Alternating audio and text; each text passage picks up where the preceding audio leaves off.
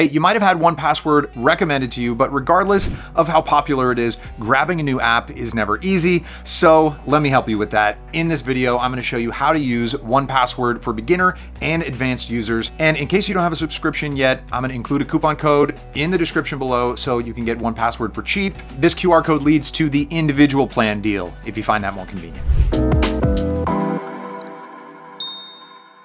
Okay, let's begin our journey from just complete strangers to this thing to a comfortable beginner. 1Password tutorial time. So the first steps here are obvious. All you gotta do is download and install the app. I'm not gonna go into detail here because the process is no different than any other app. Now, once you download and install the app, launch it alongside me. On your first launch, You'll be prompted to set up your master password, which you will use to log into the app. So here it is, the 1Password main window. Now that we have launched the app, I'm gonna show you how to add a new password. This button on the top right corner is the way to go. Click new item and don't get overwhelmed. There are a lot of options here. That's because you can save pretty much any important information in 1Password and have it protected by encryption. For now, a password should suffice as an example. All right, click password and fill in the information to save data to your vault. But what is a vault? Well, that's how 1Password refers to folders that each hold specific information in them. It's up to you to configure which vaults are used for what. But just as an example, I have a vault dedicated entirely to my work, from business related accounts to subscriptions for apps that I'm testing and bank details used for payment. All right, but is 1Password safe enough to entrust it with this data? Don't worry, these vaults are sufficiently protected, just like the rest of the app. 1Password utilizes top grade encryption, and the decryption code, called the secret key, is kept only on the owner's device. So even though I store all the info in the cloud, nobody else has access to it. 1Password security is nothing to scoff at either. The app was audited multiple times, which makes sense. After all, 1Password has been around since 2006.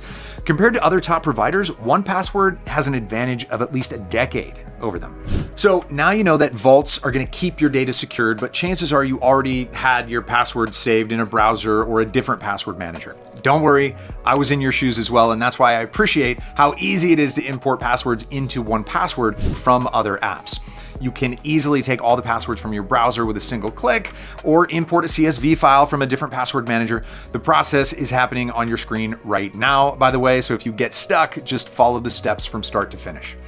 That said, creating new items or importing them is not the only way of filling your vaults. If you have a 1Password Chrome extension or an extension for any other browser, every time you create a new account, you're gonna be able to auto-save the password in your 1Password vault without any extra steps.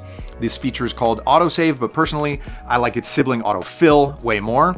This one simply fills in all the info for me when I have to log in, fill in my bank info or some other information. Naturally, it only uses the information that was saved in your vault. So don't worry, it won't magically pull your sensitive data out of nowhere to fill in the fields.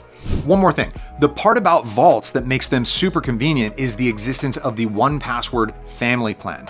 With it, I can have shared vaults with anyone in my family group so we can use the same credentials, bank details, and so on.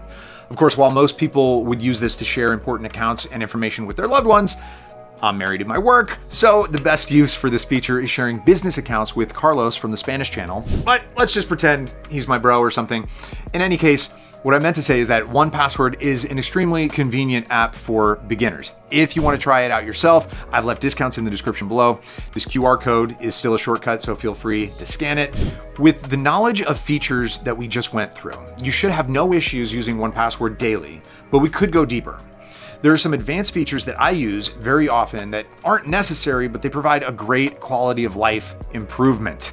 Like the Watchtower. This one is simple, it monitors your password, detects unsecured websites, and generally notifies you about password reuse, duplicate items in your vault, weak passwords, or data leaks that contain your personal details. For me, this is a great reminder to maintain good cyber hygiene. The feature is easy to use. You just click on its icon in the 1Password app and see what it says. If there are any issues with your password or accounts, you'll be notified. Okay, in case that happens, the best thing you could do is use the password generator feature. I like it because of how just configurable it is. Not only can I set the number of symbols I need, but I can exclude or include numbers or symbols, make it more memorable, or even just generate a secure PIN code combination. Though there's a chance this feature will lose relevance soon since passkeys are getting really popular. Passkeys are an alternative way of logging in, which utilize the same biometrics or PIN required to unlock my device for the 1Password login process. So not all websites support this right now, but that's just a matter of time. I like that 1Password passkey creation in the app is really easy to do. Typically, you're only gonna need to make a few clicks and create a new passkey for a website that supports it. So I also use privacy cards. This feature lets me not just save payment methods for chosen accounts, but even set payment limits and manage use cases. To create a privacy card, I need to visit a website where I can make a payment. When the site asks for my payment details, I'll click the credit card number field and choose create privacy card. So this does need me to have a 1Password browser extension, but you probably already guessed that much. All these features are equally available on all operating systems. So if you want 1Password for Mac, you can have it. The same goes for Windows, Linux, iOS, and Android. Since I just mentioned a browser extension, this one you can install on Chrome, Firefox, or Edge, the big browser trio, as well as Chromium-based browsers like Brave and Safari. It typically takes just a click to add the extension to your browser, so I wouldn't hesitate to do so. Of course, while I hope you do have smooth sailing with 1Password, you may have further questions about features or compatibility. In this case, I recommend contacting their customer support. I usually receive an answer to my emails in a day or two, which is not that bad, but I really wish they'd add a live chat support option sometime soon. Looking at all the features offered, let's have a quick 1Password review for the pricing options. All right, surprisingly, it's not very expensive. 1Password stands as a decent, affordable password manager. Currently, I'd recommend sticking to a family plan if you plan on actively sharing passwords.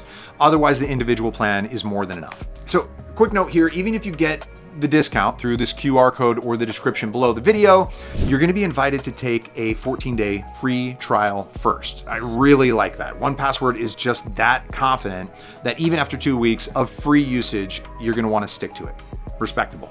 So in conclusion, 1Password really stands out with its robust features and top-notch security while being incredibly user-friendly, making it really perfect for both beginner and tech-savvy users alike. Hey, I hope this 1Password tutorial helped you experience 1Password a little bit and see why it's one of the best password manager options on the market right now. Let me know what you guys think in the description below and consider subscribing to the channel for more cybersecurity app reviews.